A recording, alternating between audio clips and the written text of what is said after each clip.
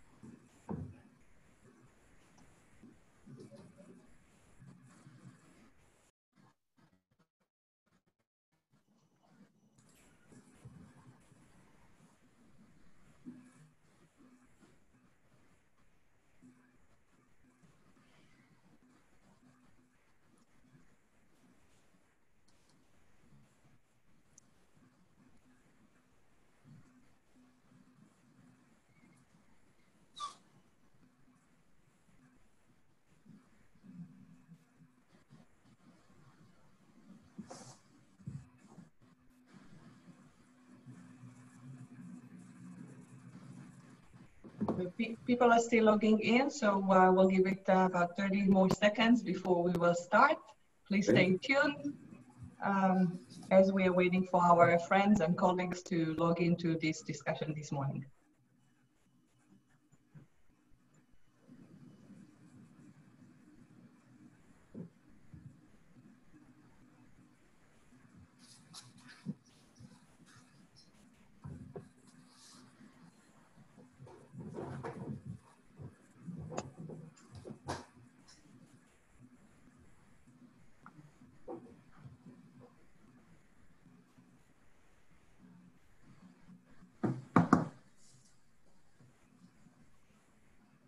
Okay, good morning here in California, good afternoon in Israel, and also uh, early morning to our friends in New York and the East Coast. Uh, my name is Sharon Vanek. I'm the Executive Director of the California Israel uh, Chamber of Commerce. For those who don't know, the California Israel Chamber of Commerce, known as the CICC, is a nonprofit organization, industry supported, which is dedicated to the promotion and strengthening the technology and trade relations between the business communities in California and those of, of Israel. Of Israel. Um, before we start today, I would like to let our audience know that the statements, analysis, opinions, and conclusions in this webinar presentations are those of the speakers only. The information contained in this webinar is not intended to constitute advice of any kind or the rendering professional services by the CICC team. Please notice that this webinar is being recorded and the recording will be available on the CICC YouTube channel as long as it is relevant. I would like to thank our moderator of, uh, for today's uh, discussion, Eran Tagor. Um, Eran is a CICC board member.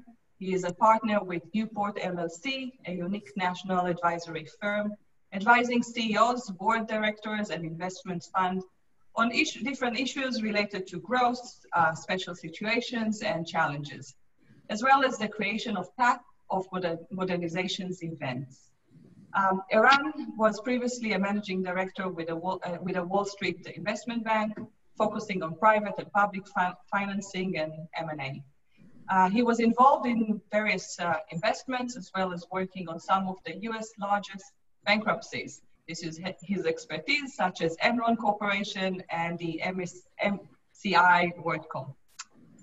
I would also like to welcome our speakers this morning who were generous to join us and share some insights on the current investment strategies. Um, I think that I will let Eran introduce our speakers and take the lead on this conversation. Eran? Thank you, Sharon. Uh, hi, everybody. Thank you, everybody, for joining us. Um, good morning, afternoon, and evening, as Sean said, because we have participants in different places.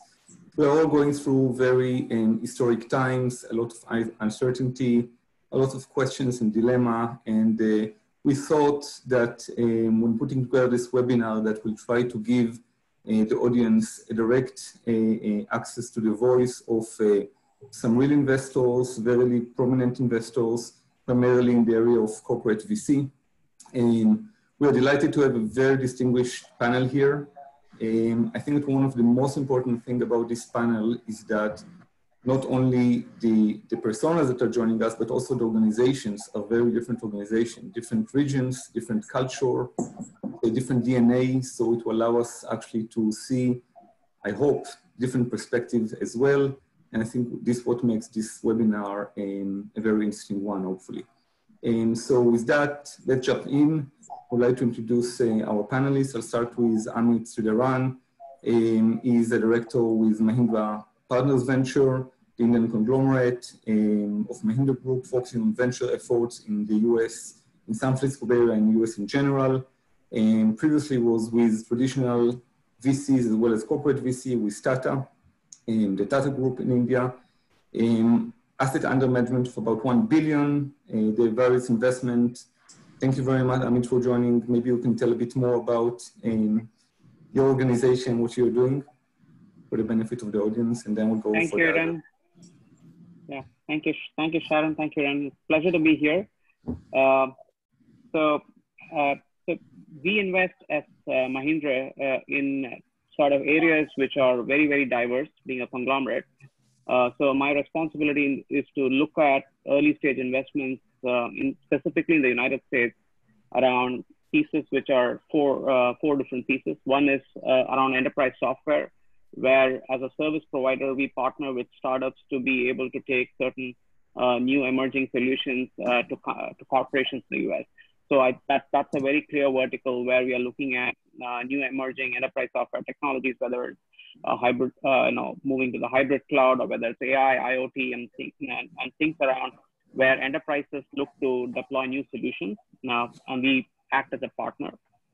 Another clear vertical is the whole mobility space where we are a large automotive player and we are obviously looking at electrification and newer areas where technology is sort of changing um, uh, the movement. So, and that's a, that's a specific vertical. The third is agriculture, where, you know, Mahindra is the largest uh, tractor manufacturer in the world. And as you know, ag, ag, itself is digitizing, and we believe that we are investing. So we have portfolio companies where we are looking at AI imagery, we are looking at robotics automation, um, and things around ag. And, and the fourth is renewable energy or the new energy space. That's the way uh, things are moving towards originally solar, but now distributed grid and connecting the whole EV and the grid together. So these are four fundamental verticals where we in. We look at early stage uh, pieces. We have about eight portfolio companies. We also look at partnerships where we take those companies to some of the startups or use uh, work with them closely in the markets that we're interested in. Um, so that, that's it from our background. What's a typical check that you would usually write, Amit? So, uh, so when we are early, we come in right roughly at the one to three million check. We are co-investors. We don't lead rounds. We want to be participating with other investors in the round. So we try to be able to work with other investors when there's a term sheet already there, and we participate in the round together with them. So it's a one to three million check size, preferably Series A is where we sort of get in. Um, series B again, we are comfortable uh, if the valuations are reasonable, and so that's where we participate. Okay, fantastic. Um, our next panelist is Anil Achyuta. Um, he is with TDK, the Japanese multinational electronic um, company. Actually, relatively a new operation, right? Anil, from 2019, about $50 million under uh, management. Um, prior to, um, to joining TDK, Anil was with the arm of uh, L'Oreal in Boston, and he also held some other research position in, as he has PhD in chemical engineering. Um, I would say that the strategic thing about Anil that he has reviewed for the past year about 360 companies. This is like no single day without a company, I guess, that you see. And, uh, and you only made only two investments in so far, um, although I know that the gates will be open. Um, I will let you know, talk about them briefly one is like in the um, electric vehicle takeoff and landing, sounds very fascinating. And another one that you just released. Um, so I'll let you talk about your background and organization for the benefit of the audience. Thank you. Yeah, thanks everyone. Um, uh, these are historic times indeed, and uh, um, really appreciate you inviting me here. Um, TDK uh, TDK Corp, uh, as Eran mentioned, has been around for over 80 years, uh, but TDK Ventures is a very new outfit. We started um, July of last year, and uh, um, we are a small 50 million, five zero, $50 million fund and uh, we focus on four separate areas key areas uh, one is in mobility two is in industry 4.0 three is in new energies and four is in health and wellness and um, we look at companies across the globe. Uh, we are uh, somewhat stage agnostic and uh, our typical check sizes vary from 250000 to two and a half million dollars. Uh, similar to Mahindra, we actually follow. We do not usually lead rounds, and uh, our investments uh, are really in the space of new technologies that TDK doesn't have that are working in new markets that don't exist today. And with that background, uh, we uh, made an investment actually yesterday, uh, yesterday came out on the public um, in a magnetocardiography uh, space. Uh, it's basically uh, a company that is developing um, um, new types of sensors that could uh, measure tiny electrical signals of the heart uh, by measuring the magnetic signals of the heart. And this is useful because it is used in triaging chest pain patients who go into the ER.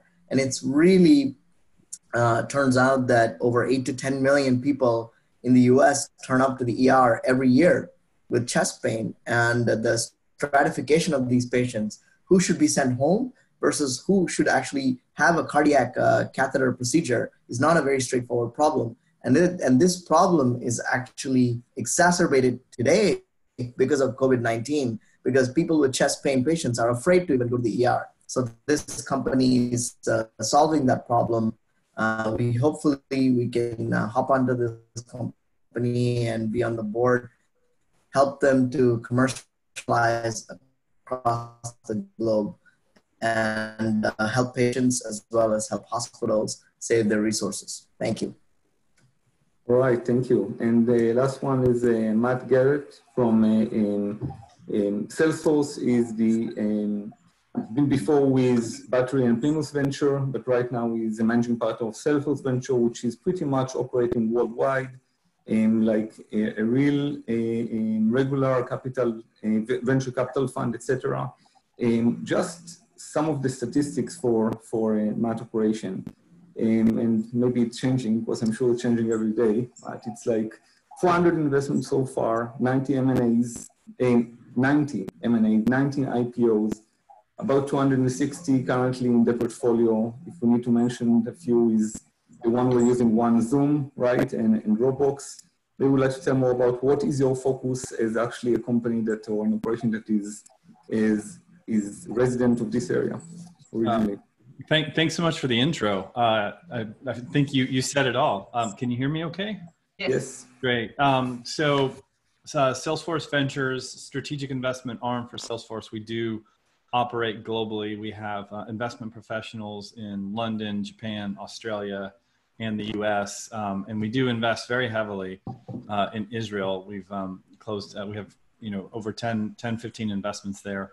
Um, and the focus really is around largely application software that mirrors where we operate. And so the types of things we invest in, there's, there's sort of um, two, two or three uh, investment themes and, motions that we really follow, and that is we're investing a lot in um, our alongside our core product sales, service, marketing, um, and digital commerce and things like that. And often we're investing in things that will complement our products and often going one step closer to the customer. Um, so, uh, or often we're connecting a little bit further into the back office. We also do a lot of investing into industry verticals, um, healthcare, finance, um, and within finance, uh, uh, wealth management, commercial banking, and things like that. And then, um, and and some of the themes that we've really been focused on are along digital transformation. So we have been investing heavily in, in AI and machine learning. Um, and, and as Salesforce is, you know, continuously shifting to be just a, a, system of record to a system engagement to a system of intelligent intelligence, uh, there's now a big focus on all things data and in the data gravity, and that's really what's what you're seeing in the enterprise. So how do you connect all these disparate data sets? How do you um, connect workflows across different applications, across different data sets? And now that you have all that data, how do you secure it, make sure it's um, protected? Um, how do you find it? And um, things like that. And we're heavily investing in automation as well, uh, getting data in and out of uh, uh, enterprise application software pretty seamlessly and automatically. Um, so with that in, in mind, uh, typically we're a Series A, Series B investor. That's um, frequency of investment, um, kind of one to ten million dollar investments generally. Um, typically not leading in those cases, but we do uh, we do write um, much much larger checks um, on follow-on rounds, and then occasionally we will lead a, a, very large investment. we, we we announced the we led the 400 million dollar investment in Snowflake um, recently is a good example. That's not our, our, our, our, usual pace, but we do that from time to time as well. Okay, fantastic. Thank you very much. And sure. uh, maybe we'll jump into the next section, at least for the benefit of the of the audience. Would like to to explain a bit what is really corporate VC, and maybe I'll turn it uh, um, um, back to to you, Matt, in terms of what sets apart the CVC for the entrepreneur versus regular VCs and investors? Um, what's the advantages actually of working with, with a CVC versus a regular VC? That's Matt. That's a question okay. for you. Yeah, sorry. Um, our, uh, our dog just escaped. um, so we uh, so some of the, the biggest difference is really the access to the operators exas- um, within Salesforce, the the access to our product teams, um, access to, to go to market. So for every investment that we make, we have an exec sponsor who's generally on the product side. We work uh, very closely with those teams and make sure that they are you know very well integrated with those with those products and, and we work really closely with them um, uh, you know on, on go to market. So I think that as uh, money um, becomes much more of a, of a commodity, um, you know, everyone's looking for uh, investors that can be very helpful. And I think the, that's also true if you're a, if you're a corporate investor, um, you certainly have to bring a lot more than money to the table.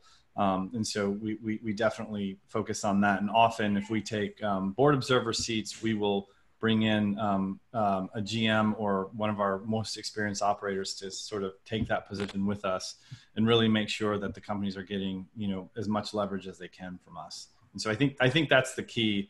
And and we give we give every and every investment we make we give them access to if they have questions about best practices on go to market pricing anything on how to operate and scale their business we give we give those companies access to all of the operators um, and executives with, with inside of Salesforce. Um, any other thing from your end to add on this, Anil or Amit, or it's about the same concept? I mean, uh, from our point of view, uh, it's pretty much exactly the same. Um, I would say we call it the TDK goodness. Uh, we always try to, in fact, the, the, the key underlying um, reason why we invest in many times um, is uh, really we can add value.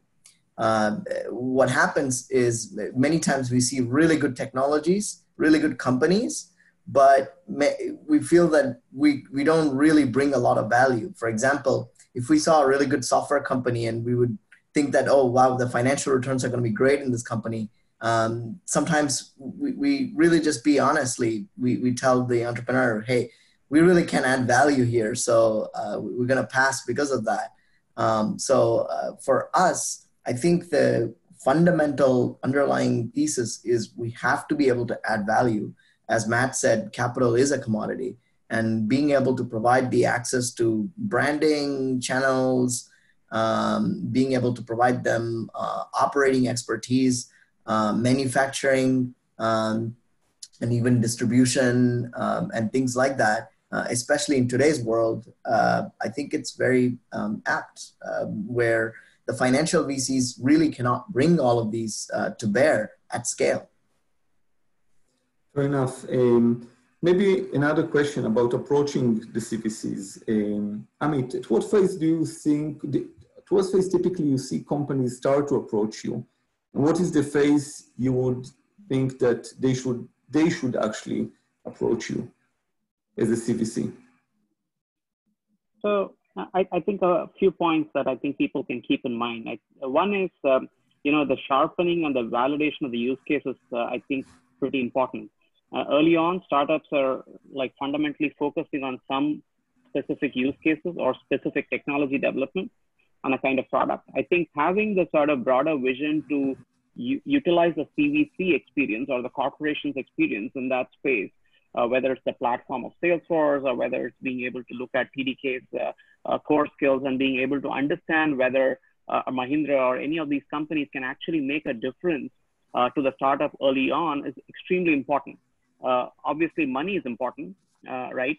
Um, but I think more than that, if you're able to validate your use case and validate why it sort of would fit in the thesis of the corporate venture capital arm, it's, it's, it's a far more easier fit. That, that's one.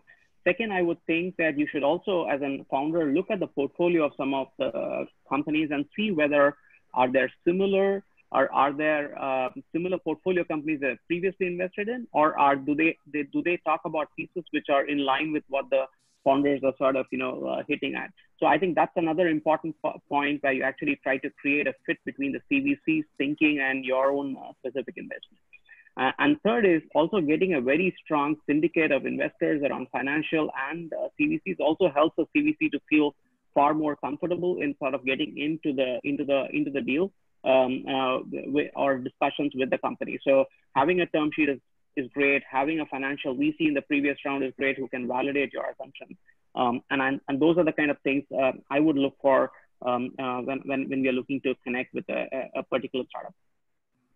So, so basically, you know, you would like to see other investors. I mean, I'm trying for the benefit of audience to get from you what is the point that you actually, and what would like to see in order to get seriously engaged in a discussion, because there is always a dilemma here. You know, when to approach the, the CVC.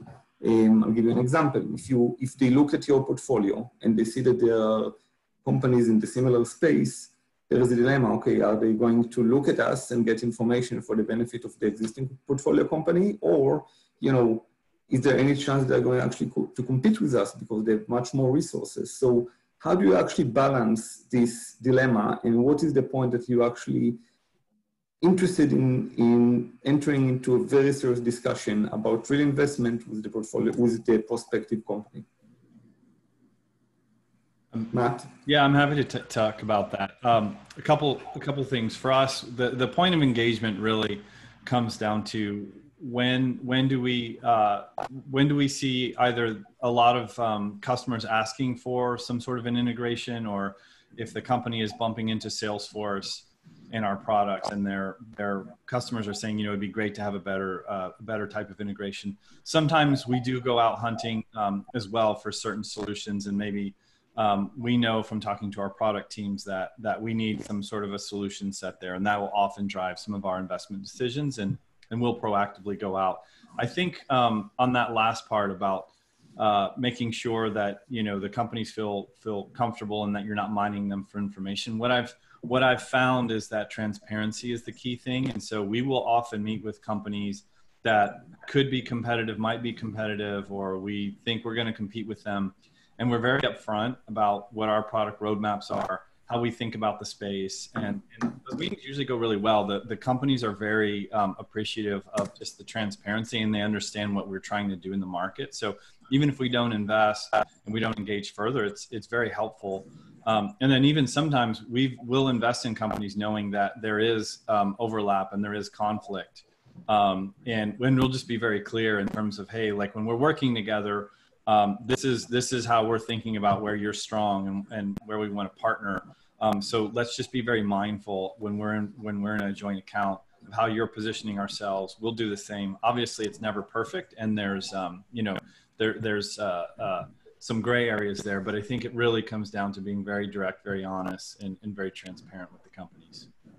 Does it sometimes affect the, the deal structure? You know, um, not taking a board seat, taking only an observer, or actually not taking any observer or a board seat, and have, let's say, limit more limited information rights. Do you see this happening sometimes? Um, not for that reason. And we take a very, let's say, uh, the approach we take to board observer seats is um, we don't have them in all cases. And in terms of who who gets it and what the involvement is, we, we generally have a, a sort of a, of a mutual opt out, and, and both both sides have to agree and make sure that this is the, the right person and the right fit so that there's so that they're getting a lot of value and then uh, yeah if there there have been situations where um, I we did we did have seen um, increasing conflict uh, with with products and go to market. And in those cases, we have we have rec- recused ourselves from being a board observer. Fair enough. Um, any other comment on that point from Amit or Ami? No, I mean I think. Uh, the, the key here is intimacy with the management team um, one does not need a board observer seat or board seat in general to develop that intimacy with management team. So from a deal structuring point of view, we try to be very sort of entrepreneur friendly. Um, and uh, we try to be as vanilla as possible. Um, and uh, the moment you start adding other layers in into contracts, um, it's usually complicated and, and you don't want to do that. Uh, we want to give entrepreneur, uh, we, we think about entrepreneur as our customer in many ways. Uh, in fact, we have a KPI within our system where we say, how likely is the entrepreneur willing to, um, uh, to, to recommend TDK Ventures to other entrepreneurs? So we're actually scored on that. Um, so we take that very seriously. And if uh, the strange terms start creeping in, um, that's when we know that the entrepreneur will will not score us very favorably, and uh, we want to try to keep that out and uh, really develop that intimacy with the management team. Um, and from a um, yeah. Okay. Excellent. I, I, I want to add one important point mm-hmm. here. I think I think it's important to understand that corporate venture capital has a huge divergence, divergence, and there are questions that you raise that there are some corporations who have invest still in ventures and are looking for information rights and looking at us. I, I completely understand that founders need to be extremely uh, careful. And therefore, I, what I think founders should do is also do diligence on the company. When I say that, it, I'm not saying it. So talk to other portfolio founders. Ask the CVC to give you references of other founders they've invested in. I mean, the track record of Salesforce speaks it all. It's got so many IPOs down the line. And and those are kinds of things that you know founders should understand when they actually are looking at a corporate venture capital firm for investment. So obviously the money part is important. Uh, secondly, also the connect of the product with your own core, right? Is it a tangential product that is sort of useful for the company, or is it going to be straight line in their line of business, right? And if it is straight line in the line of business, then look at the cleaner the term sheet, the better it is, where you're trying Absolutely. to uh, sort of get those things going. Absolutely, excellent. question we have a question from our audience. Um, you guys mentioned, at least for Mahindra and TDK, that you are looking at early stage uh, companies, but no one was talking here about big companies. So there is a question uh, from uh, one of our viewers, will a CVC invest in an early seed stage if the startup is relevant enough to the strategic direction of the corporate? Can anyone answer this? I can take it. Um, so uh, look, I think the um, seed stage comes in various flavors, as as uh, many of us know. Um, sometimes seed stage can mean just an idea on a napkin sketch. Sometimes seed could be mean um, early sales uh, of a, maybe 500k or a million dollars. So um, if it's compelling enough, we will make seed investments. Um, Autoflight is a classic example. That's a seed investment. We don't we, we we don't lead rounds, but we made an exception to lead that round because it was so compelling of a company and so strategic um, that it did. Um, we did make the seed round, but that doesn't mean that we you know we always make seed investments. We've seen over 700 and uh, 700 odd companies totally as a fund in 10 months, and we made one seed investment. So you, you understand the strike rate there. Yeah, thank you. Amit, will Mahindra um, partners will invest um, in a seed company? uh, again, I think very similar, and I can share both of Mahindra, and I think broadly the data also suggests that it is an, it's more of an exception rather than a norm uh, in, in corporate venture funding.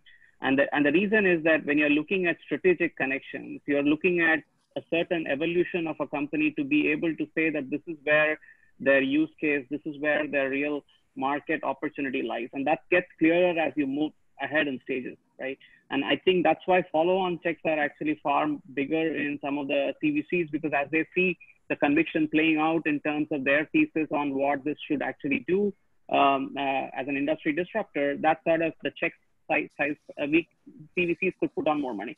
So earlier is obviously seed stage or pre-seed, you've got more risk, more uh, volatility in the thinking. Obviously pivots happen even later, but I think the pivots are far fewer as you go and the risk is far lesser. So that's why I think it's, it's going to be, there are still companies where founders get very integrated with certain good CVC arms and they do make seed investments. But broadly, I think seed investments are less, lot lesser when it comes to CVCs, but it, it has been actually growing in the last three, four years uh, compared to before, but I, I think it's far lower number. Thank you, Amit. There is one Thank more you. question from the from the audience, and I think I'll refer that to Matt, since you have, I think, the most experience in this. Uh, one of our viewers is asking how many of the investments grown from investment to actual M&As. Uh, is uh, uh, I think he wants to say, as a CVC, are you more looking to strive to M&A or having an unorganic growth? Um, yeah, so the the M and A and and creating a pipeline for M and A is is by no means the primary goal of what we're doing. The the goal of what we're doing is um, we think about it uh, in terms of building an ecosystem of of the best enterprise software companies and integrating them into our solution set, and and we really want to make sure that both sides benefit from this um, uh, mutually and so that's that's really the primary goal. Within that we went over some of the um, numbers at the at the um, onset in terms of the overall number of uh, m&a events that we've had. Um, you know we've had dozens of those um, around 90 and um, we've, we've only acquired a handful of companies. And so that certainly happens and it'll certainly continue to happen. Um, but but but by no means is that the the primary function. And so I think in order to operate as a as a good CVC and operate for for many number of years, you have to uh, you have to operate in a way such that you, you assume you're not like you're not the likely acquirer, and and uh, they're either going to get bought by someone else or go public. In that in that you you uh, need to help them along that journey as best as you can and create the most uh, um, value for for everybody along the way. Thank you. Thank you. I would like to move to the next section, primarily take, you know, after this uh, and getting this understanding about how CVC works and talk about our current situation. COVID-19, what's the effect of COVID-19 on, on your activities? The, the market street consensus is pretty much that we are already in a recession. Um, put aside, you know, what's the definitions? Um, I would say, what would be your definition when you talk about going back to normal um, or going back to the new normal? And what is the underlying assumption for you guys when you are looking at your operation? Um, I can say that, you know, many players, if you look at, you know, there was a survey by NFX saying that, you know, 40% of the um, investors, venture capital investors think that, you know, recovery will really come between April 21 to April in 2022 seems like far away from now. But for you guys, you know, you're looking at seed investment, etc. What is really the horizon, time horizon that you have in mind right now when you're looking at new investment? And what's your corporation that have different DNA, I guess, how each company is viewing the current situation and its effect on your current activities? I'll start with you, Amit. So so I think first at the, at the, short term level, we have, we have certain committed capital, uh, which we will continue to deploy. Uh, but I, I, think that, and uh, I haven't really uh, progressed on a specific uh, deal with a level of aggression in the last couple of months. Uh, although we have a couple of deals in the pipeline, it's, it's, it's, it's been difficult to sort of move on some, some of the, some of my own investment committee meetings. Right? So though there is committed capital, obviously other priorities are going to be slightly, uh, uh, you know, taking over at this time um, when when we are responding. But uh, I think the, the core focus is for us to say, okay, how can we do, but do it in a much uh, smarter way. So one is obviously the opportunity to see, um, uh, you know, the right sort of deals, which which would which would otherwise be difficult to, for us to get into. But that's something that we are seeing, uh, where conversations are uh, of uh, companies where earlier there were not much of interest uh, in aligning, um, because obviously valuations were higher, or they would be far more interested in other investors, sort of are looking at newer investors also to participate. So, so that's, that's, that's definitely happening. Second is I think we are also realigning and saying what's our vision in terms of what we need to invest, in terms of how the startups need to get to market, right? How quickly can the startups get to the kind of markets we want them to get into? So again, that's the second thing. And the third is looking at first certain themes like health tech and uh, new, which which were already there, but we were looking at looking at far more sharply in terms of how we can start building out uh, specific uh, themes and specific companies around that. I think so. Uh, so to just to summarize, I think one is looking at more opportunities, uh, looking at uh, things where valuations are reasonable, and the third is about really looking at newer areas which we think would be accelerating post this situation. So have you have you changed the rate of deploying capital in general, or this is not changed in that respect then? Yeah, I, I would say it is uh, slower in our case. Uh, okay. I don't think uh, I would be saying that it's uh, the same. So it is definitely uh, slower right now, but we don't know. So the and, and I think the slowness is more temporary right now, more about the situation and uh, more about the lockdown rather than as, as a fundamental. so so that's how I would think about it. But yes, uh, but we do have committed capital, and which is not uh, something that's going to go away. But we are going sure. to be slower and more measured. Okay. What about Salesforce, Matt? In terms of uh, you know any deals that you closed very recently, any closing that you see on the horizon, and does the rate of deploying capital has changed from your end? Sure. Um, so I'd say just in in um, in terms of our general investment strategy, I don't think there's um, any any major shift. Um, certainly, we'll see uh, you know different sectors grow more aggressively coming out of this. Um, but you know, in terms of in terms of the adjustment to the rate of capital and where we're spending our time, we certainly um, um you know, Salesforce in, in general has been very um, up out front of this and and really focused on how can we help the existing portfolio companies kind of reacting, checking in just trying to get a sense of what the new normal is and, and trying to see how we can we can be of most help whether that's um, capital or, or otherwise. Um, so along those lines we've we've um, been pretty active over the last few weeks um, we you know we just announced new investments so we're still um, actively investing um, I think in terms of how that rate of capital deployment goes over the course of, of the year, I think that's largely going to be due to external factors, and that is you're seeing overall uh, deal volume. Um, and, and I think what you're seeing in the market is kind of a bifurcation of things, and that is um, we still see a pretty active early stage um, investment environment. The later stage investment environment, uh, what I mean by that is companies maybe at 5 million in recurring revenue and doubling, or 10 million in recurring revenue and doubling. And, and uh, those, those investments, the pace there is really starting to slow down, and that's um, largely because um, you know it's kind of hard to to figure out what what the rest of this year is going to look like for those businesses and how do you think about valuing it and there's generally a big lag between the uh, the private markets and and the public markets and so um, to for for new investors to come in and pay a, a premium on the last round um, is harder. So what you're seeing happen right now is a lot of companies surrounding their their good portfolio companies that are in the middle of a fundraise that may have a hard time raising um, an up round or a significant premium to the last round. Um, just working with the companies and saying, look, um, you know, we should think about we need to have at least 18 to 24 months of capital. Um, how are we thinking about adjusting budgets and spends to get there? And then how much additional capital do we need to get there?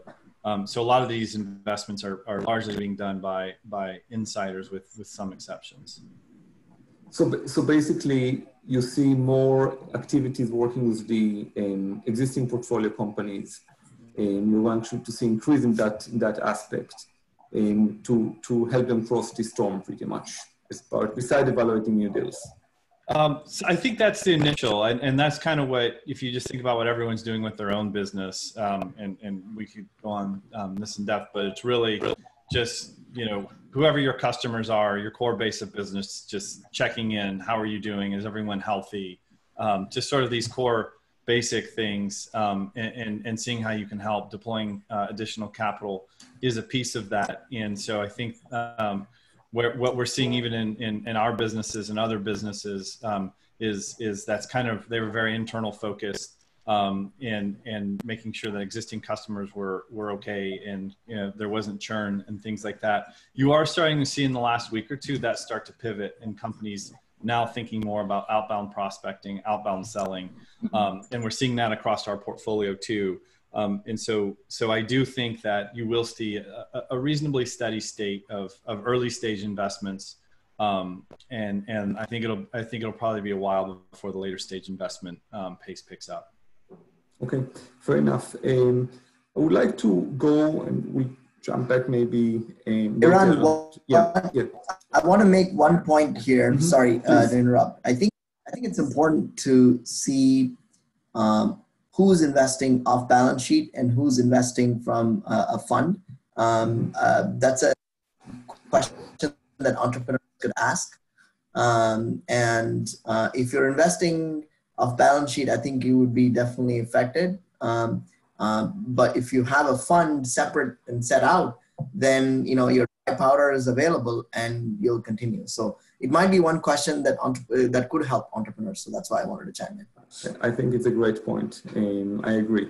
Um, I would like to move and discuss a bit of valuation um, because, and Matt, Matt just relate to this a bit, you know, how do you really place value nowadays? When you look, you know, before when you have a public market that was very, I would say, rich, um, there was some benchmarking. Um, the benchmarking was related to the previous round. You could see other comparables. You see that M&As are also richer, generally speaking. If you look at what's happening right now, um, over the past months, besides the volatility, you could see that, you know, um, the, the, the P ratio, for example, um, went down, but it went down because the price of the stock went down. But, you know, we don't have yet the new data after this, you know, stall in the economy. So it doesn't reflect much. Um, so the public market is not, cannot be a very good benchmark or accurate benchmark. So how do you how do you place value? We're going to place value right now. Are you looking to see um, you know companies focusing on, on, on growth? You're going to see on the portfolio companies, for example, if they would like to do more stuff on more survival mode. How do you place the value? How do you play with it? Amit? You're smiling. So, so, I mean, there's no one answer to this, right? So mm-hmm. obviously, you take multiples and other things, and and and there are various ways to do valuation, right? So you can obviously reduce your revenue multiple, or if you have revenue, but if you are having other competitive benchmarks, uh, you can look at uh, lower multiples for any of those companies and say back. But I so let's let's look at really pre-revenue companies, people who are really uh, in the seed stage, uh, or very very early, or trying to raise Series A if they are pre-revenue, I think the best thing at this point in time is uh, to be able to uh, you, use this as a note or try to raise a bridge as a note and then wait for another three, four months or six months to be able to then get a better sense of where the valuations are going to rise. So that, that's one uh, thing that they could definitely do. Like uh, take a do do a note as a bridge round, and therefore you don't have to unlock valuation at this point in time, uh, and then sort of stretch it.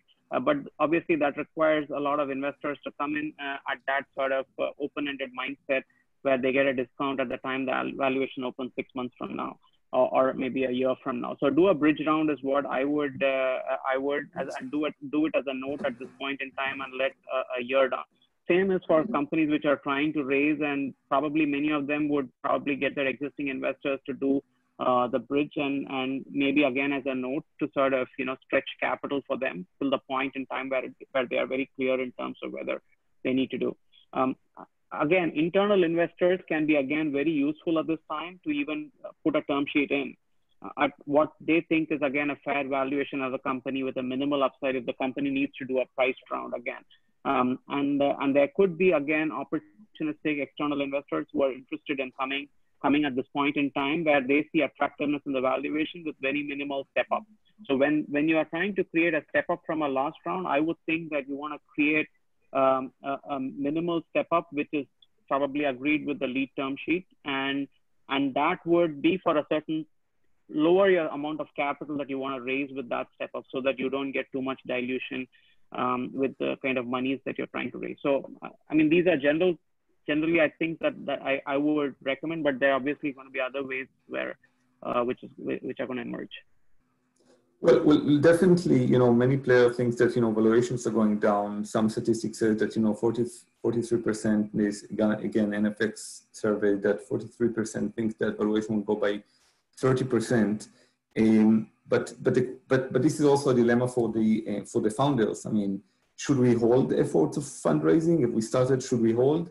If we do something like you suggest, Amit, you know, and we do um, a convertible note, you know, how much are we going to take, um, etc. How big is the raise because of the, the, the dilution because valuations are lower? Um, so what what do you suggest what would you suggest to founders right now would you suggest them basically you know adjust the valuation and get as much as you can as fast as you can or you tell them you know try to bridge the next year and then see what happens um, um, what would be your advice to them Anil? So, and I, I, love the other panelists also uh, talk about this because I think this is something that we're seeing even in our portfolio companies. I think at one point they are definitely looking to cut costs uh, when I say cut costs, hire less, stretch your capital. Uh, I think it, this is not so. It's got to be binary. Both the the uh, the the money that the, the cash flow has to be binary, which is what is coming in and what what you're spending on has to be both reflective of it. So what you're spending on is also you need something to keep tab on, um, uh, and how many people you're hiring, how many people you want. Uh, you know, try. There are various ways you can actually uh, sort of structure. If you're really early, uh, you know, you can get more people to structure on more higher equity basis, you know, rather than just pure cash basis.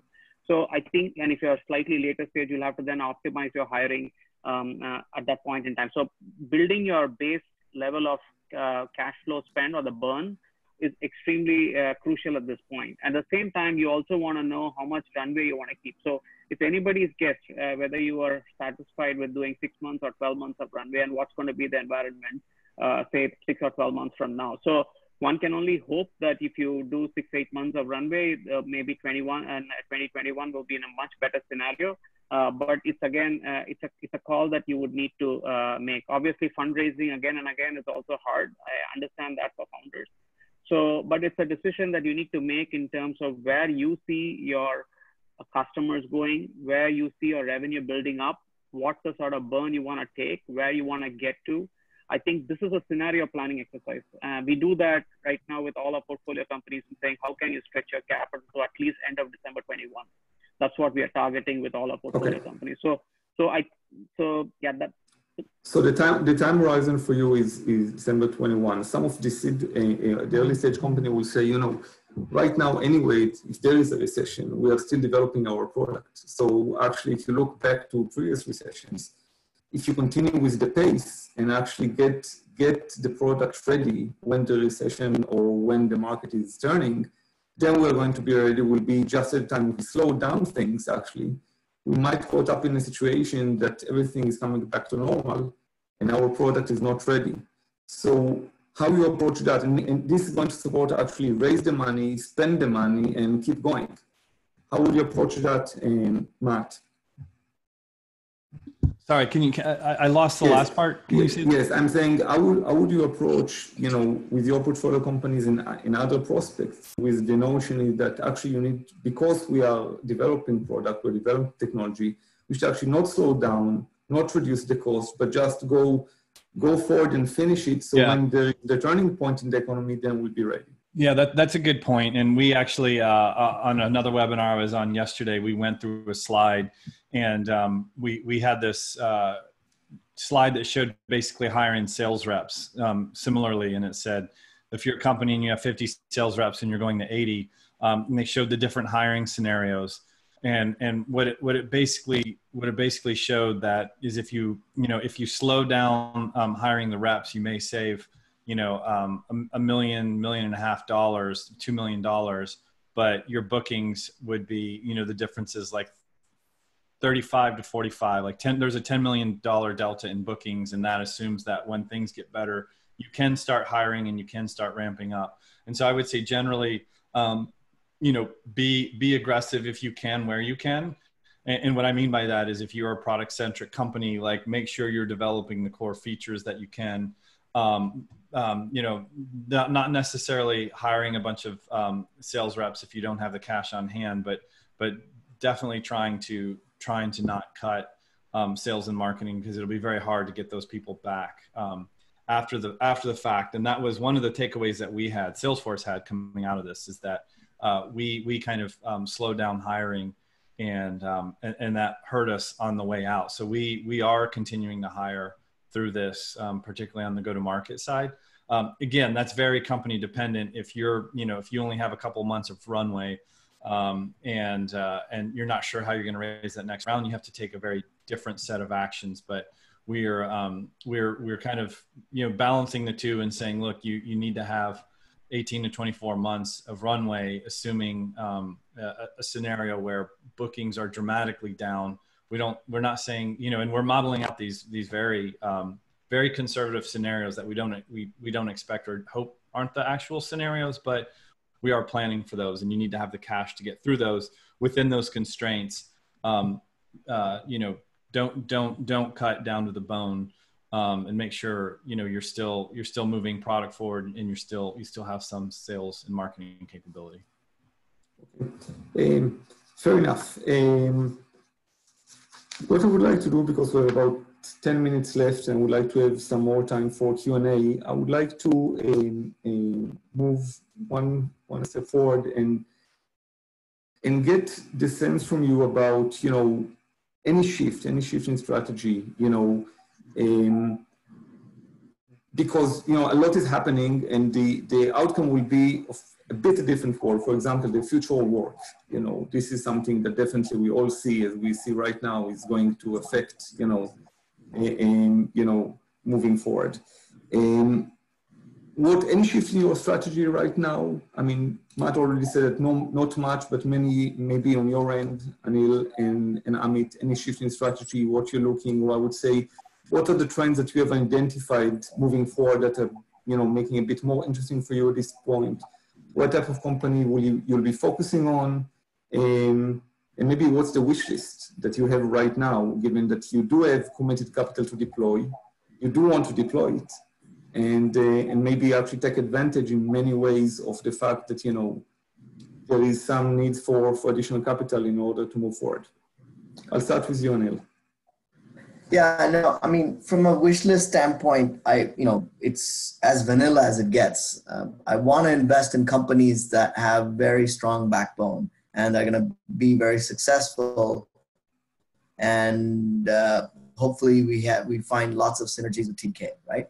That's the sort of the underlying um, assumption um, in digital and energy transformation. That's that's our thesis. We are very committed to that thesis, and um, I, I, only hope that we find more companies um, there. From a trend, emerging cool trends point of view, um, you know, uh, recently I saw this um, article uh, where people in northern India, uh, it was the first time in like 30 or 40 years they saw the Himalayas again. Uh, you know, uh, apparently it was all filled, filled with air pollution. Um, so there's there's some uh, sort of gravitas to that, right? That we, we as humans are really polluting the world. And, and uh, I would love to see uh, um, many more companies that will make an impact on the global warming as well as being more green. Um, I think uh, we are paying a lot more attention to recycling. Um, yesterday, we had a pitch um, on, on a, a technology, uh, and the first question that came from our investment committee was, "Hey, can you recycle this?" And we were like oh yeah actually we never thought about that and you know questions like that are appearing and um, i believe that we would want to see more companies that are being a lot more um, uh, sort of uh, mindful about uh, what we're doing to the planet and um, and be sustainable um, and and and do good do good for the world as well as make profit. Okay, fair enough. It's a good point. Definitely, this area of ESG and you know corporate responsibility and sustainability is, has become a, a major point for many investors. It's a very flourishing um, segment. Well, I mean, all of our investments have to have sustainability aspect. Uh, if you okay. five, we follow the uh, sustainability guidelines from uh, WHO, and uh, yeah, uh, we we have to invest in it. But uh, what I'm saying is, we're going to probably double down on this. Fair enough. Great. Amit, what about Mahindra? So I think it's it's going to be for us uh, be able to find sharper and more clearer um, sort of solutions where we are looking to invest. So just to bring you a broader perspective, like for example, in AgTech, we've been sort of uh, looking at a lot of startups which have been focusing a lot on solutions for different kinds of markets and different kinds of crops. Uh, but we're finding it hard to find startups really be able to bring down the cost value equation to a point where there's scalability that sort of determines. And that's a design thinking issue as much as a startup uh, scale up issue, right? right? If you design products for automation, which are very big and broad, they're never going to be, even if you're going to scale down cost, you're going to be able to bring it down to a certain level.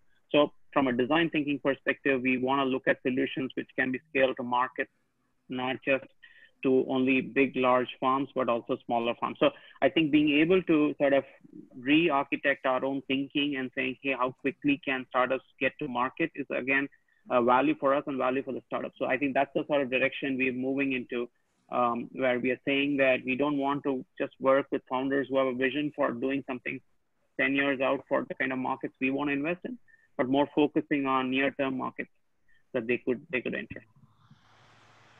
Matt, what about you?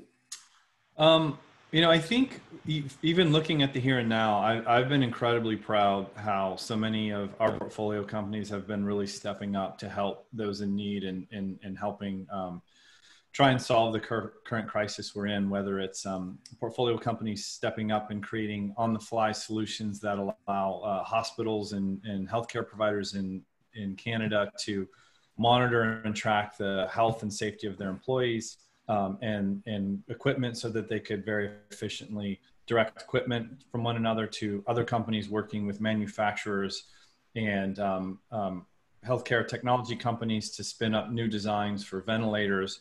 And um, it's been really, really inspiring. And I think it's also highlighting that, that we will see coming out of this. Um, we did a survey of our portfolio companies, 90, 90, 70% of them have found new areas of opportunity um, for business, 90% have um, believed that this is going to create a tailwind for enterprise software and SaaS solutions. And, and the reason for that is obviously we're witnessing this today. Zoom is a portfolio company, but um, even if you uh, even if you go beyond the um, you know telecommunication and the IT infrastructure such as VPN and things like that to enable remote work, um, we're seeing this other layer that that cloud solutions are providing, and that is not only are they necessary if you can't be in person um, to do these complex heavy installations? You need a cloud-based solution.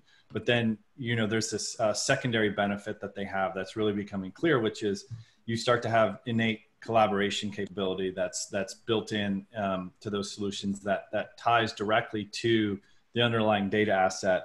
And so um, as you see all of these industries getting disrupted and changing right now whether it's manufacturers, as I mentioned, spinning up new designs or moving supply chains where it used to be very focused on one country predominantly. Now you may have multiple countries. You're going to have to spin these solutions up in a matter of days and in a matter of weeks um, versus a matter of, of months and years. And that requires cloud solutions, but that also requires um, remote collaboration um, and, and collaborating around like specific design concepts or specific supply chains. So I think you're going to see just a, a, a real acceleration of these technologies um, um, coming out of this. Quick question. Uh, I mean, a question with a quick answer from each one of you. We are all talking about technologies um, and devices, solutions, and so on. Will any of you go out of your comfort zone and invest in something like wellness or biotech? Yes or no? Anil?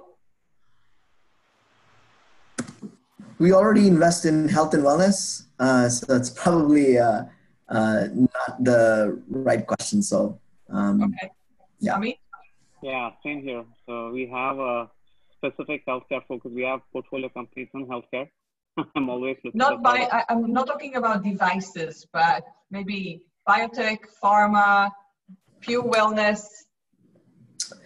So pure wellness, yes, but not biotech specifically. That's not something that we would probably get into. yeah, like a new new molecular entity or a virus, you know, like a vaccine or something like that. Um, no, we will not invest in that. Thank Okay, Matt? It's, it's, it, Uh, if it's software, we will in new sectors, but uh, we don't want to go into those other areas where we don't think we offer um, u- unique uh, advantage or help. Okay. And another question, maybe the last question, then I'll get back to um, each one of you with a closing statement. What is the decision process to invest? How long does it take? Uh, does it need a whole team approval? Um, quickly, one by one, because we are getting to the We have about of the hour. a, a minute left for this discussion. Yeah. Amit, what's the process Yeah, on your so end? uh, our decision process, as I said, uh, we look at very close uh, use case sort of fitment uh, with the sort of pieces that I explained at the right at the start. Uh, and uh, our investment committee is quite flat in the sense that I actually take a proposal, and if we think that there is a term sheet already on the table, and we think uh, I have to make a decision on whether that's an investment that's something that we want to present to the committee, and the committee approves or disapproves it. So it's a pretty flat process. Like you can usually move an investment in a, um, I would say, in a three or four week time frame is what I look at. But I think the large part of the work is about the diligence work that we need to do. Uh, more than the investment committee's uh, sort of uh, response to that. So it's a, it's a flat structure. I don't, so the decision is yes or no right after the investment committee. Anil? From our point of view, um, diligence takes about um, one to two months. Uh, decision making between four to eight days. That's the average. Okay. Thank you. Matt? Um, similar, we, we, we're pretty flat. We move very quickly. We can get to a, a yes, no in, in a matter of days or, or you know, uh, around a week.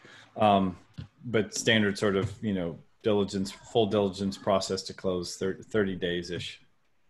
Okay. Okay. Um, closing statement, gentlemen. Matt, one sentence. What can you say? Maybe a, a good advice to the to the um, uh, listeners, or anything else do you have in mind to close the session from your end? Um, the good advice, I would say, we'll get out of this. Um, we generally, you know, we've we've seen these things before, um, and uh, it's it's it's going to be um, difficult, but um, I think we can come out of this um, stronger and better. Thank you. Anil? Anil? Um, focus on what you can do really well and focus on your core competencies and be positive and optimistic. Thank you. Amit? Uh, I uh, so I would say that all founders should continue to stay whole fort. I think that there's an opportunity here because if you're starting out at this time, you're only going to see better fortunes ahead. So and there's a lot of capital out there. So keep pitching. Don't uh, uh, don't think that there's no capital out there. There are there is enough surplus capital still out there that you should not lose hope and you should continue to focus on uh, your uh, like journey.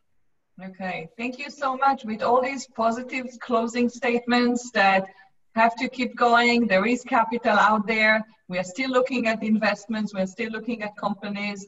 I would like to thank each one of you today for joining us. Uh, thank you to our panel, panelists and speakers. Thank you to our audience around the world that is watching this. Um, I wish you all the best of luck. And if there is anything that we here at CICC can help you with, uh, please uh, don't be shy and reach out to us. Uh, this uh, uh, webinar has been recorded and as I mentioned, uh, will be available on our YouTube channel for others to watch. Thank you so much everyone. Stay healthy, stay well, and we'll talk to you soon. Thank Bye, you. Take care. Okay. Bye. Thank you. Goodbye everyone.